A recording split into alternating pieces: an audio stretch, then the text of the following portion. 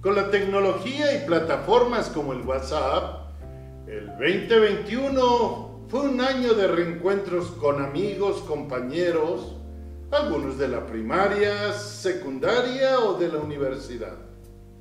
Diversos grupos en charlas, chats, incluyendo compañeros de pensión. Algunos los conozco desde hace 60 años.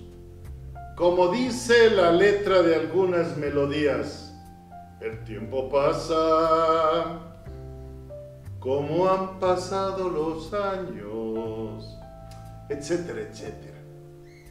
Se reviven relatos, anécdotas, maestros y espacios en las aulas o canchas deportivas. Grandes historias o pequeños acontecimientos que nos dejaron marcados. Personas que nos facilitaron la vida cotidiana. Con los alimentos, con el traslado hacia cualquier lugar, en ese momento a las escuelas.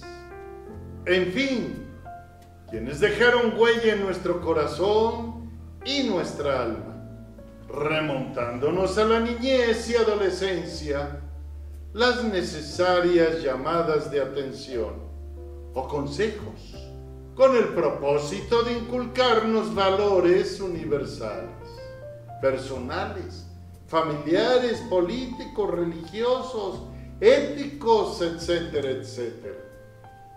Experimentando triunfos o fracasos, necesitando consejos o apoyo de nuestros padres, la mayoría ya fallecidos, para ayudarnos con ello a zanjar alguna encrucijada que nos presentaba la vida, analizados desde su perspectiva y experiencia, alegrías y sinsabores, todo un crisol de vivencias que dieron como fruto los seres humanos que hoy somos y cómo nos vemos. Ese que refleja las marcas irremediables de los años transcurridos. Arrugas, canas, caída de cabello, kilos de más y muchos etcétera más. si logramos resumir nuestras andanzas, obtendremos un cúmulo de diferentes experiencias. Reflexiono en que cada uno que se cruzó en mi senda o hizo su aportación al baúl de mi existir. Amigo, compañero, condiscípulo, gracias por lo que sumaste a mi peregrinar. La memoria puede desaparecer o cubrir anécdotas específicas pero el ánimo de que sean imborrables depende de cada uno.